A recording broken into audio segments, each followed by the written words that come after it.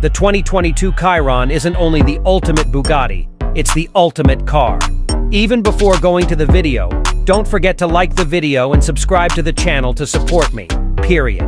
This $3 million work of art is capable of pummeling the pavement at over 200 miles per hour, thanks to a 16-cylinder engine that features four turbochargers and cranks out at least 1,500 horsepower.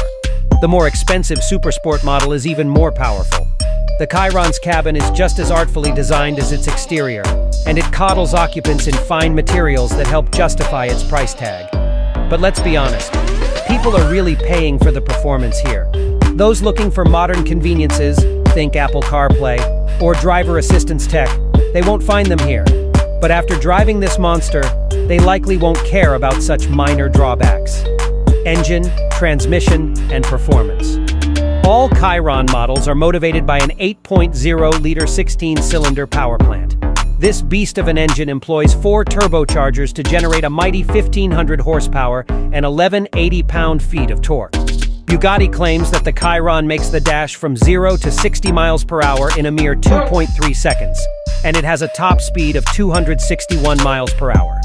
If the Chiron's standard engine doesn't quench your thirst for speed, step up to the Chiron Supersport. This model is equipped with a slightly more potent version of the base power plant, and it produces 1578 horsepower. At our test track, the Supersport got to 60 miles per hour in just 2.2 seconds, and amazingly, hit 200 miles per hour in under 15 seconds. Piloted by factory test driver Andy Wallace, a model with specs almost identical to those of the Chiron Supersport, logged a record-setting 304.773 miles per hour test track run.